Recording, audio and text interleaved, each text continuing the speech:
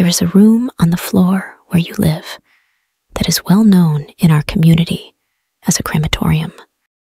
Hearing this, he was instantly chilled to the bone.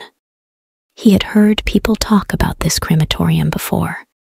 It was said to be a room bought by someone who didn't live there and was used specifically to store urns. The old man continued. There used to be some residents on that floor, they all encountered strange things and moved out later. Until now, almost a year later, no one has lived on that floor. I advise you to move out as soon as possible. Before leaving, the old man even reminded him a few words. Don't tell anyone that I told you about it. The property management of the community has been upset about this for more than once. After saying these words, the old man hurried away.